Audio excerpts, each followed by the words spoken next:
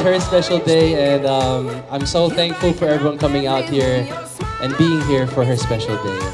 Babies don't come with uh, an adult mind. They have to be guided, they have to be nurtured, and they have to be prayed for every moment of her life.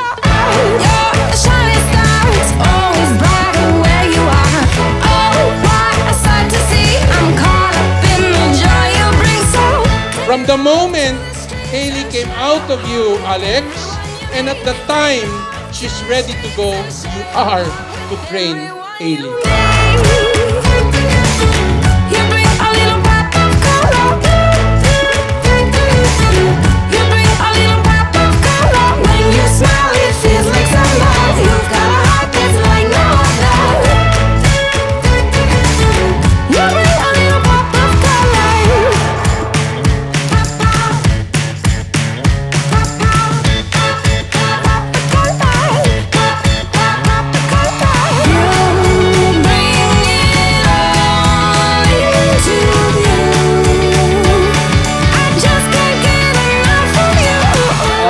I've said it a million times already, uh, Hailey, of this for this first birthday of yours, and your entire life, darling. I promise you the world and everything that Dada didn't have. I promise to give it to you, and you live one of the best lives ever.